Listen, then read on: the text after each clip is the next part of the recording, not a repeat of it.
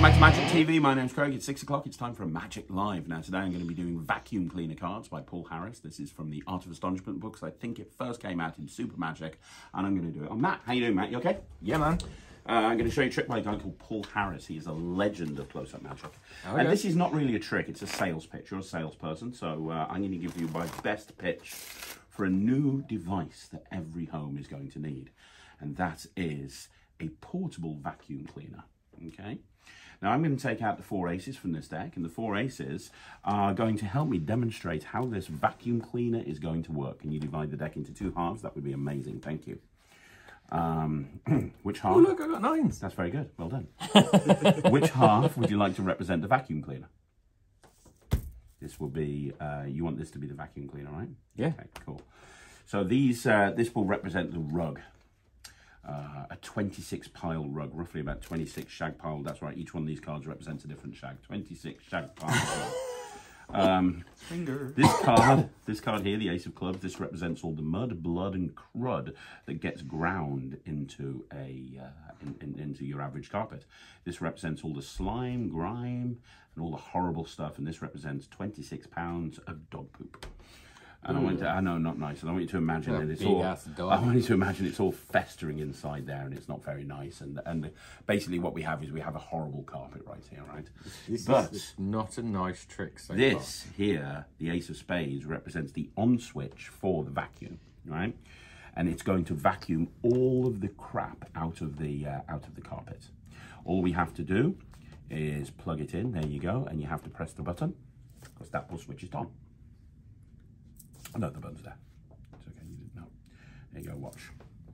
Actually, you can do this because when you're doing um, when you're doing um, uh, uh, when you're doing like uh, a demonstration to people and you want them to buy something, what you tend to do is you put the product in their hand, right? Because then when they realise how easy it is to use, they'll probably buy it. You know that as a salesperson, right?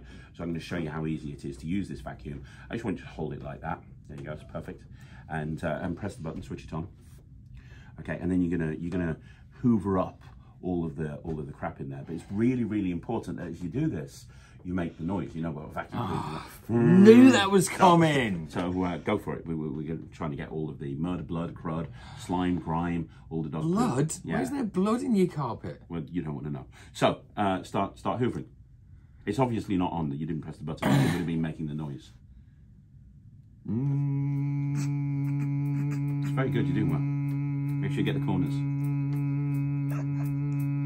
You're doing up, Jack. I can't help it. You're doing great. That's very good. You can push the ace in because that means you've unplugged it. So just push the ace in. Very good.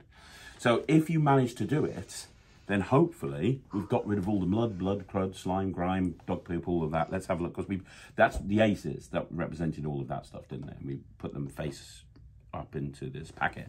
So if you've managed to, yeah, look, they've gone.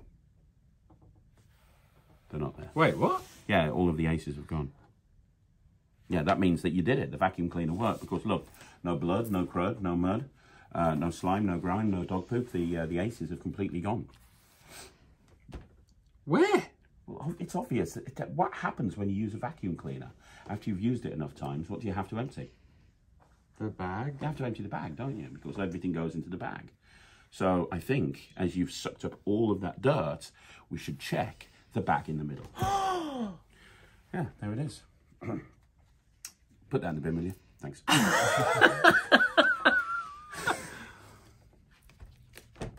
That's what? No. Hold on. It was.